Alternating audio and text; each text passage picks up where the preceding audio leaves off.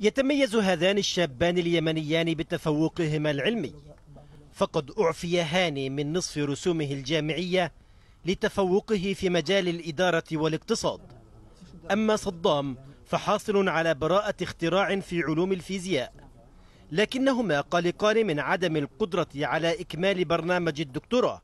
أعاني من مشكلة كبيرة في الجامعة يعني بسبب الرسوم الدراسية بسبب ال- الإقامة بسبب أشياء كثيرة. وهذا يأثر على محصولنا العلمي ليس أنا فقط جميع الطلاب يعانون من هذا الشيء يعني. من من أكثر من سنة أو من أكثر من ستة أشهر أو سبعة أشهر. لذلك هذه الرسالة موجهة إلى كل من يعنيه الأمر بضرورة التحرك وإرسال المستحقات إلى الطلاب. وهذه جريمة لا تقل عن تلك الجرائم التي تحدث في بلادي.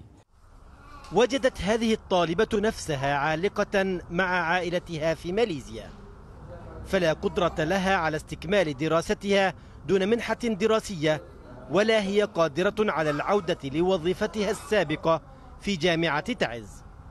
وما يفاقم من أزمة هؤلاء هو عدم السماح للطلاب الأجانب بالعمل في ماليزيا. يعتقد الطلاب اليمنيون في الخارج أنهم ضحية حرب ليسوا طرفا فيها. فقد قطعت مستحقات جميع المبتعثين بصرف النظر عن انتماءاتهم الفكرية أو ولاءاتهم السياسية.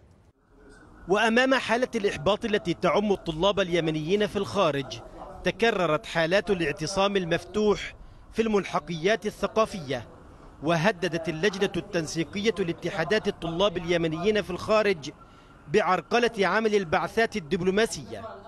سنظل متفائلين ولكن في حالة عدم الاستجابة لدينا عدة خطوات تصعيدية سنقوم بها ومن ضمنها إقفال السفارات. أزمة الطلاب اليمنيين تعدت المبتعثين إلى عامة الطلاب بسبب ارتفاع نسبة الفقر في اليمن وفاقمت من حالة هاني الشوافي وأمثاله ممن يعانون مشاكل صحية تطورت إلى أزمات نفسية. سامر علاوي الجزيرة كوالالمبور